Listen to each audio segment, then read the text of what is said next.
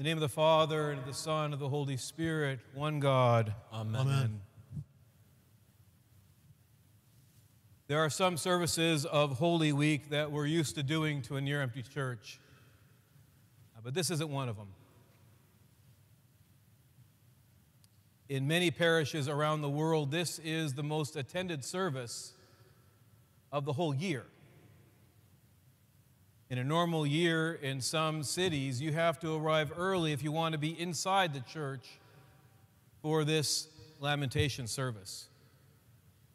I remember as a kid, I knew it was special somehow, and I would ask, What's this service about? Why is it so many people here? Why is it so special?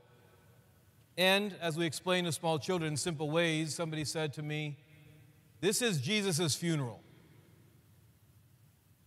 What an odd thought. On, on one hand, it's actually very accurate. When we go to bury somebody, we do a couple things. We say good words about them. That's what the word eulogy means. It's good words. We say good words about the person. But at every funeral, and especially Orthodox Christian funerals, the focus is not only on the person who's died, the, per- the focus is also on us.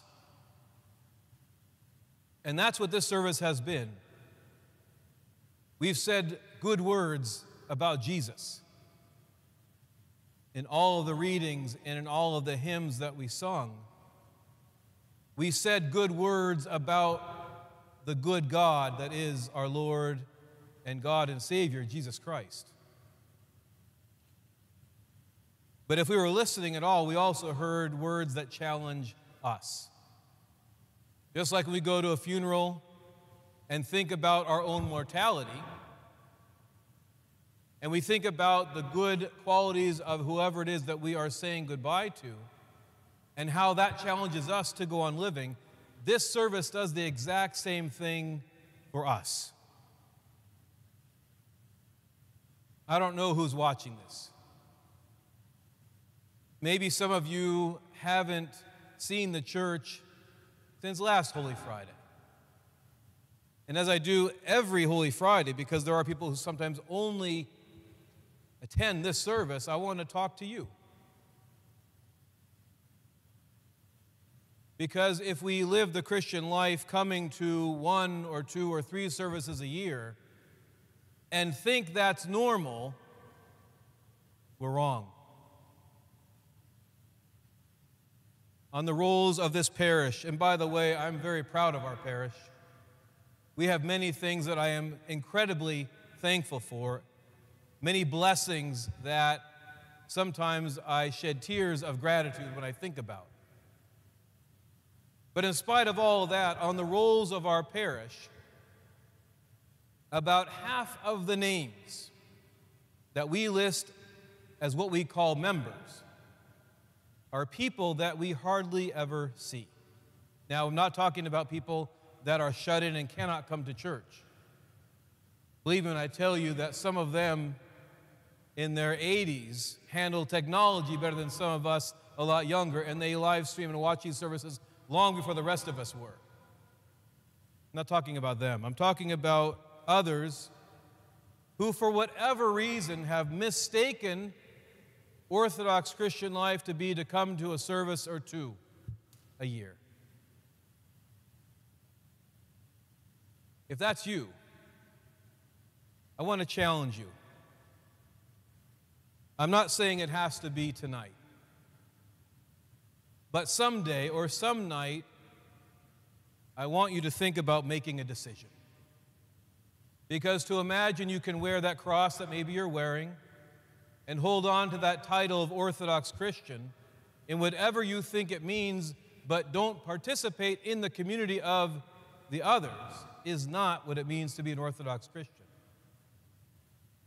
Your faith, whatever it is, and I don't judge your faith, but I can tell you that I don't understand it. I don't understand an Orthodox faith that can come on Holy Friday and not crave to be here on Holy Saturday or Pascha or Thomas Sunday or other services that we have, and not just services, but part of the community. And my challenge to you is this it doesn't have to be tonight, but at some day or some night, maybe it's time to say that this isn't for you. Maybe you would be better off saying, if this is what Christian life means, then maybe I don't want it. Maybe it's time to say, you don't believe in God. That's not what I want. It's obviously not what I want. But what I don't want more than that is for people to assume we can define our relationship with God on our terms. Because every one of us is going to meet God on His terms. So maybe, if that's you, maybe you decide to imagine your life without God. When I talk to the kids at camp and they start to express doubts about their faith, I challenge them and I say, which would be easier for you to say? I do believe in God, or I don't believe in God. And in their doubts, they probably thought it would be easier to say that they don't believe in God. And when I challenge them, I've never had somebody say that that would be easier. They come to realize how hard it is to say, I don't believe in God. And I hope you won't get there.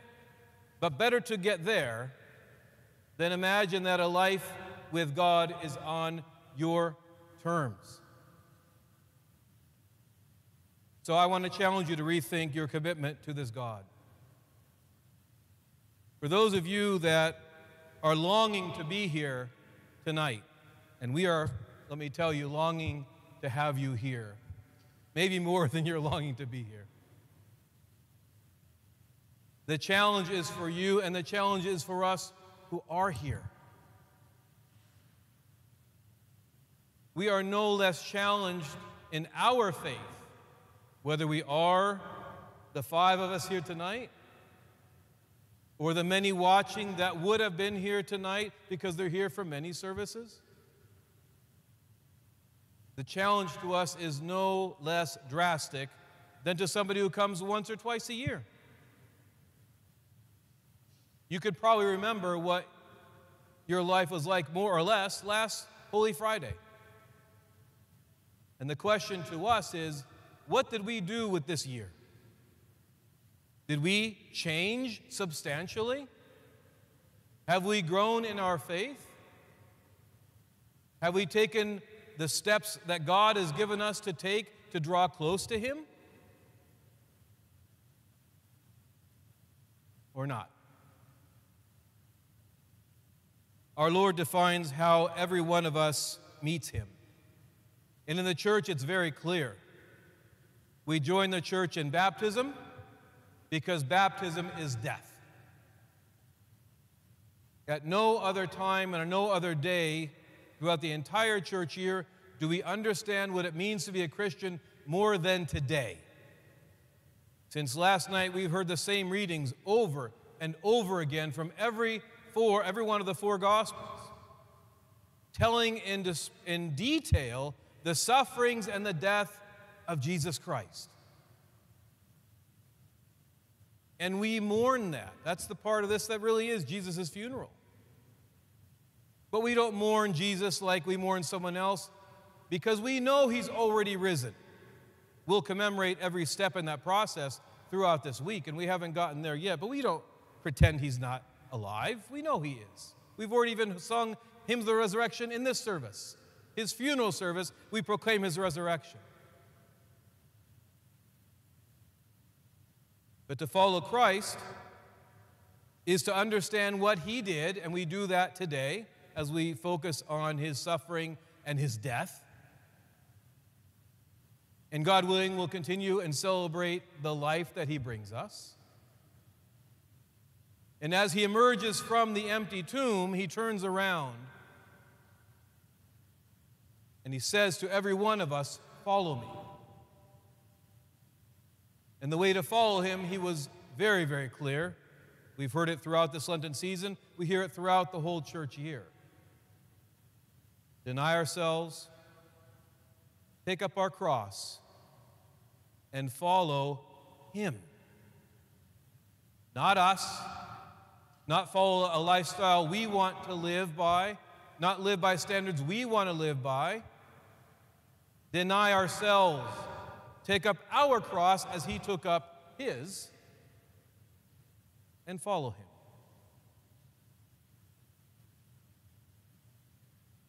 At the same time, it's an immense task, the greatest challenge we could be given. And yet, as we've prayed over and over tonight in every service, our God is good and merciful and loving. And as He sees us looking at our cross, wondering if we have the strength to pick it up, He leans down with us and He joins us in picking up that cross. Yes, He calls us to follow Him, but not without Him. So, to everyone, those that are here, given this wonderful blessing to be in the church tonight, and those of you that aren't given that blessing, let's think about the next time we're going to come back to church. For the five of us, God willing, it's in the morning. For the rest of you, we don't know. What I do know is this for every single one of us, if we don't come back to the church the next time, not having just changed a little,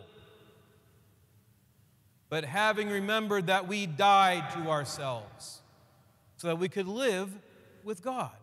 If we don't do that, then for every one of us and to myself, we better not come back.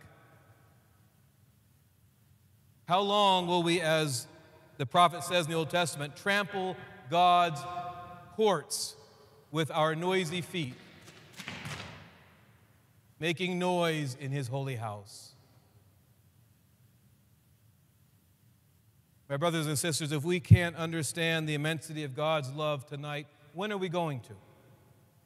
And if we can't understand that love and change because of it, when are we going to?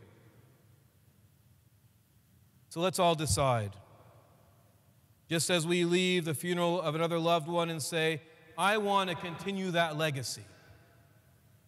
Let's let new life, the new life that dawns from this empty tomb, let's let that be our legacy now. Let's join it.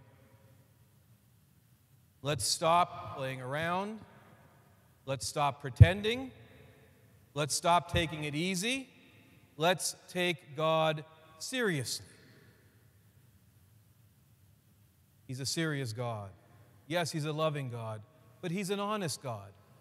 And He's so honest that He says to us, If you don't want to follow me, I will not make you.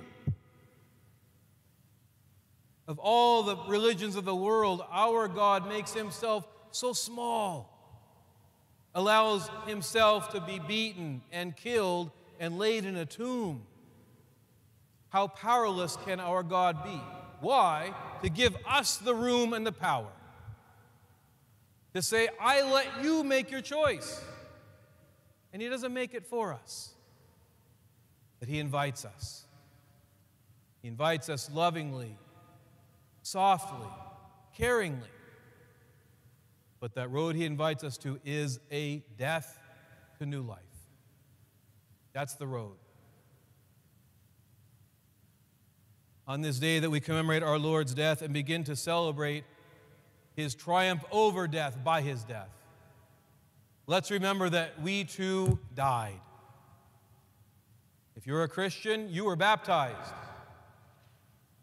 If you're an Orthodox Christian, baptized as one, you went under the water, and your mother understood that symbolism of death. So let's understand it for ourselves and live like that. Let's live as if we were baptized, as if we have already died, as we heard in the readings tonight. So that when Christ rises, we can rise with him. name of the Father, and the Son, and the Holy Spirit. Amen.